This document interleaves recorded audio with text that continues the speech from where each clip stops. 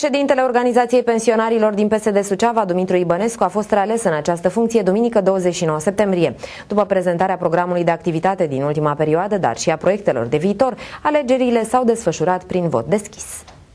Congresul Partidului Social Democrat a apreciat activitatea Organizației Pensionarilor Social Democrați, care alături de tineret femei a adus o contribuție semnată în mobilizarea electoratului la alegerile locale și parlamentare în 2012, precum și la demiterea lui Băsescu prin referendum național. La această acțiune au participat parlamentari și politicieni PSD, dar și autoritățile locale și județene.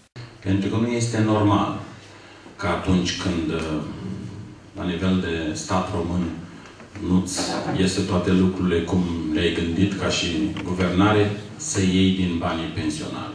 Nu mi se pare normal ca să treci peste tot ceea ce înseamnă lupta împotriva evaziunii fiscale, lupta împotriva corupției și să iei de la persoana care nu poate să intervină decât prin, uh, eu știu, presiunea publică care față de parlamentari, față de sistem în general, acești oameni o fac.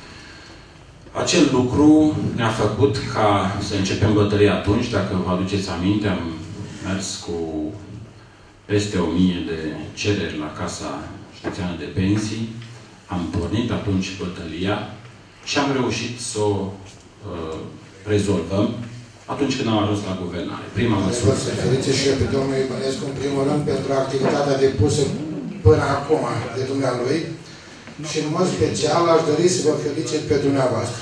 Dumneavoastră care faceți parte din uh, organizația de seniori ai Partidului Social Democrat. Știți și dumneavoastră, ca și mine, că Partidul Social Democrat n-ar fi puternic dacă n-ați fi dumneavoastră.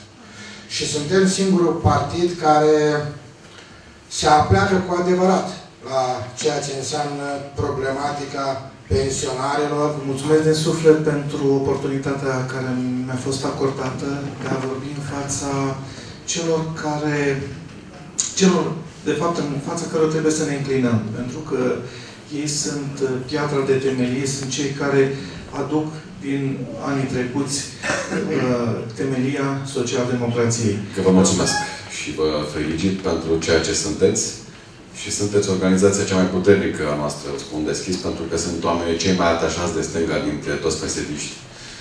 Felicitări noi echipei, vechi echipe tuturor, pentru că suntem o familie, suntem, de fapt, în primul rând, membri de partid, după aia funcții și ierarhii.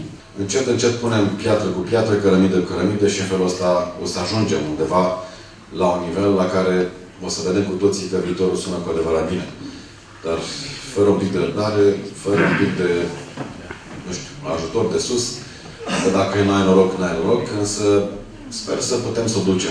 O parte din membrii PSD, dar și din cei ai organizației de pensionari, au venit cu sugestii pentru politicienii Partidului Roșu.